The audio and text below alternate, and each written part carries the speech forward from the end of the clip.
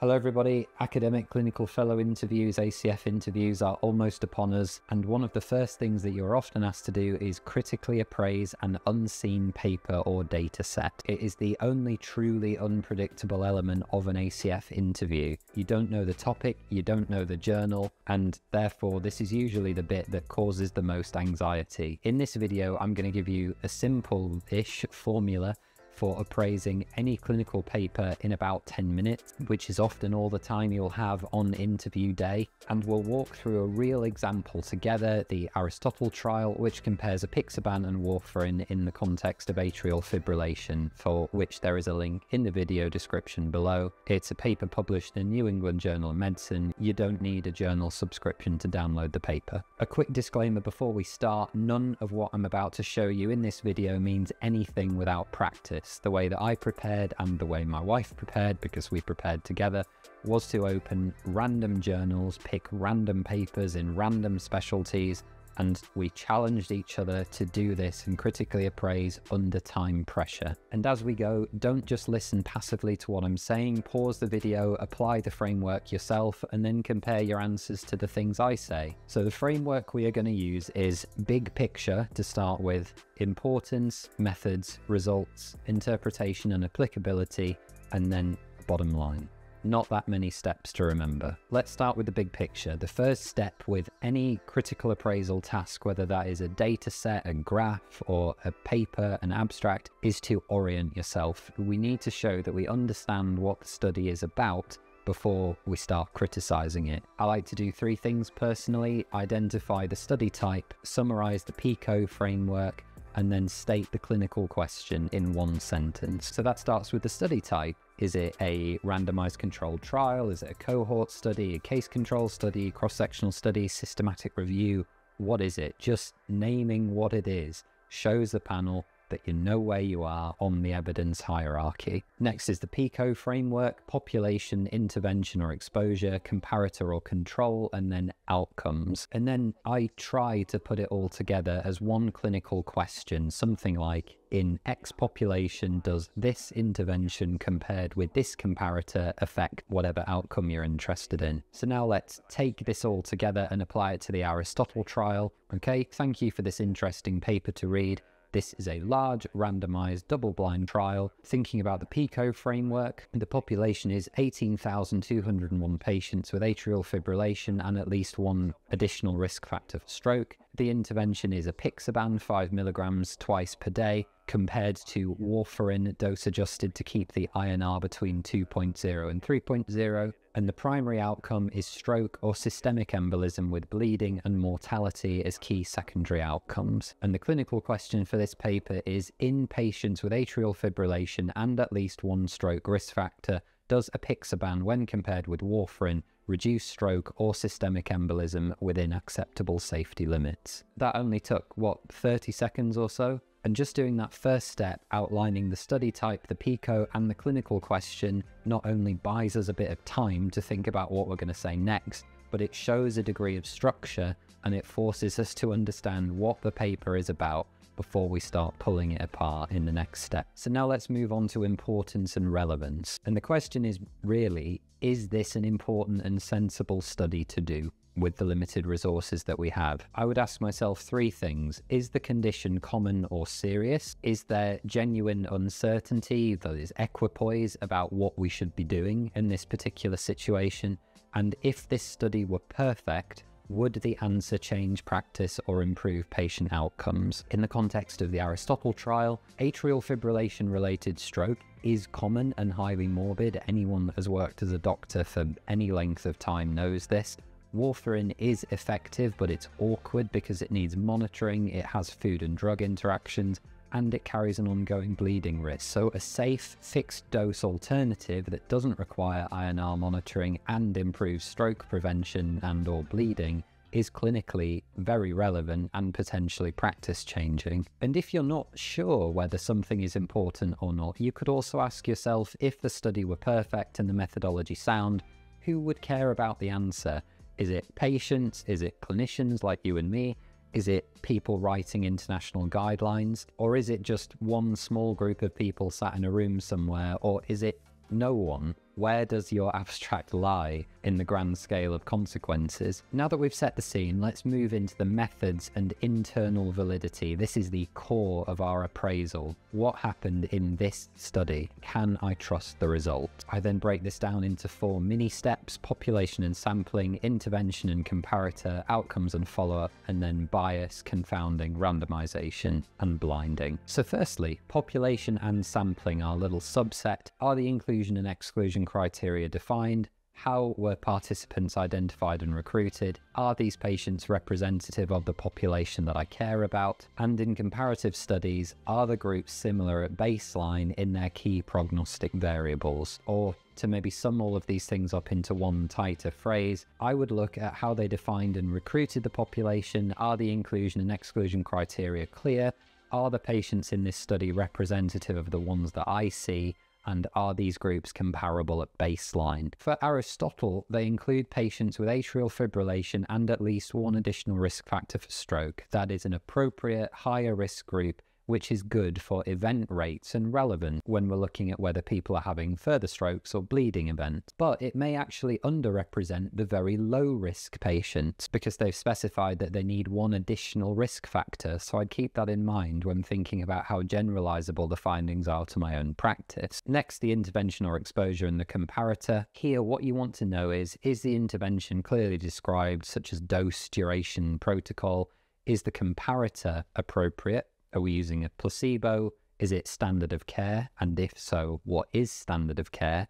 Or is it an active control of some kind? Were those interventions delivered consistently and were there any crossovers between the trial groups or protocol deviations? The key idea is if the intervention and the comparator aren't clearly defined and delivered consistently, then any differences that are found in the outcome might just represent poor implementation of the study rather than a true effect of the intervention. In Aristotle, the intervention here is apixaban 5 milligrams twice daily. The comparator is dose adjusted warfarin with a target INR of 2 to 3, which is appropriate as standard of care. On the face of the abstract, both are well defined, and warfarin is a sensible comparator. That is the current standard of care, the gold standard treatment. Thirdly, we're then going to look at outcomes and follow up. Is the primary outcome clearly specified and is it clinically meaningful? Or is it just a surrogate marker for something else? You may ask, how is it measured? Is it an objective or a subjective measure? Are the outcome assessors blinded in any way? Are validated scales used if it's a questionnaire? Is the follow up period long enough to see a meaningful effect of what we're interested in? If you're investigating the effect of statins, for example, following patients up for six months is going to be next to useless when the risk factors are calculated in decades. And how much loss to follow up is there, and is it balanced between the groups? You might say something like, I would ask whether the primary outcome is clinically meaningful rather than just a surrogate, whether it's clearly pre-specified and how it's measured. Then I would look at whether follow-up is long enough and whether loss to follow-up is small and similar in both groups. For Aristotle, the primary outcome is stroke or systemic embolism, which is a hard, clinically important endpoint. It's completely objective. You might want to ask how they did this, whether it was a clinical diagnosis or there was imaging confirming a stroke or embolism. The median follow up is 1.8 years, which is reasonable in atrial fibrillation. The abstract doesn't give us full detail on loss to follow up, but they do report event rates per year, which suggests that they have handled person time appropriately, at least from a surface read. And then finally, within the methods, we can think about bias, confounding, and randomization and blinding. At this point, it's also helpful to know the difference between a bias and a confounder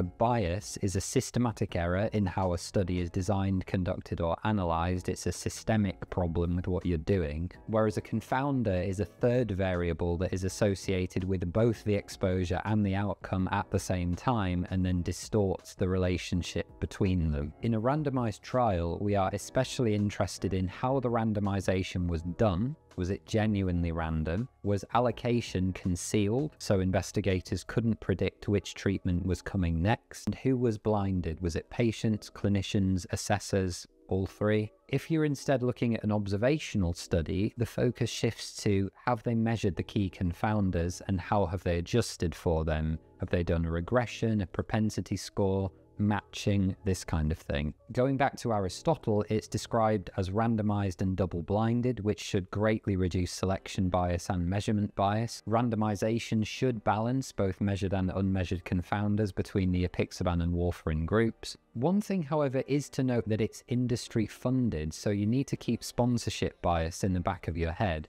That is not a reason to dismiss clinical studies, but it is reason, I think, to look at the methods and reporting with a little bit of extra care and skepticism. So in your Viva, you might say something like, randomization and blinding appear to be robust, major sources of bias are reasonably controlled for, but I would like more detail on X. And I think that means we can sound measured and thoughtful rather than either overly positive or overly cynical. Once you're happy with the methods, you can then move on to the results and statistics. So, what did they actually find, and are the results statistically and clinically meaningful? Again, coming back to my checklist that I used, I had four things. What was the effect measure that they used? Was it a risk ratio, an odds ratio, hazard ratio, mean difference? What is the size of the effect? Is it statistically significant? We can look at the p value and the confidence intervals and see whether the intervals cross the line line of no effect? And how precise is it? Are the confidence intervals very narrow or very wide? And for whatever statistics we've got, we need to check whether the study is likely to have been powered adequately for the primary outcome. And again, if that is not in the abstract or in the data set, you need to be mentioning that you would look in the full paper. So for Aristotle, for some headline numbers just from the abstract, for the primary outcome of stroke or embolism, the rate was 1.27% per year with apixaban, 1.6% per year with warfarin, the hazard ratio was 0.79 with a 95% confidence interval from 0.66 to 0.95. They report p less than 0.001 for non-inferiority and p equals 0.01 for superiority. I'll put the results for the other outcomes on screen just so you can see them. But the bottom line here is that apixaban is not only non-inferior, but is actually statistically superior for the primary efficacy outcome with a modest but clinically relevant reduction in stroke and systemic embolism, a substantial reduction in major and intracranial bleeding, and a small reduction in all-cause mortality. Those confidence intervals are also relatively tight, which suggests good precision. And now we come to interpretation and applicability, the so what bit. Here the questions are, are the author's conclusions justified by their data and the study design? Have they acknowledged the main limitations such as biases, confounders and generalizability? And I think most importantly, can I apply this to my own patients in my own setting? For applicability, I would compare their population and setting with mine. So, are the patients that I see similar in age, comorbidities, and disease severity? Are the healthcare systems comparable in terms of resources, monitoring, and cost? Really, what we're talking about here is external validity. And are there cultural or logistical barriers to using this intervention in other contexts or my context where I might want to apply these findings? So for Aristotle, based on my interpretation, the conclusion that apixaban was superior to warfarin is consistent with the data presented in the abstract. In terms of applicability, the trial is most relevant to patients with non-valvular atrial fibrillation and at least one stroke risk factor who would otherwise also be candidates for warfarin. I'd be more cautious extrapolating to patients with mechanical valves, severe renal impairment, or very low risk atrial fibrillation, because those groups may have been underrepresented or excluded from the study entirely. And then finally, we come to the bottom line of our critical appraisal. I think we can structure this around three key questions validity, which is are the results likely to be true or not? Importance, are they clinically important? And three, applicability. Would this change what I do? In summary, for Aristotle, this is a large, well conducted, double blind, randomized trial of high risk atrial fibrillation patients. Randomization and blinding appear robust. The primary outcome is clinically meaningful. Apixaban is both non inferior and superior to warfarin for stroke or systemic embolism, with substantial reduction in intracranial bleeding and a small reduction in mortality. For patients similar to the trial population in an NHS type setting, this would support choosing apixaban over warfarin for stroke prevention in atrial fibrillation assuming no contraindications. And so now, guys, you have a template that you can adapt, use, adjust in any ACF or academic interview. The hard part, I don't think, is memorizing the headings. It logically follows a narrative structure but the hard part is practicing them out loud on as many different abstracts and data sets as you can find. So after this video, pick up a journal, open a random paper, see if you can talk about it for five minutes, 10 minutes using this framework. If you'd like a follow-up, I can do another video where we apply exactly the same formula to a completely different paper, so you can see how it generalizes across specialties and study designs. And I've also made a worksheet that goes along with this video that you can print and use for your own practice or adjust it, do whatever you want. Because there is a real lack of resources that are focused on ACF interviews out there, except the paid ones, and you know how I feel about paid resources. So thank you very much for watching. Please let me know what you think down below. If you've been invited invited for an ACF interview or you're thinking about doing one in the future, please let me know if you find it useful or indeed if there's things that I need to improve and other resources that would be helpful. Thank you very much. Take care and I'll see you soon.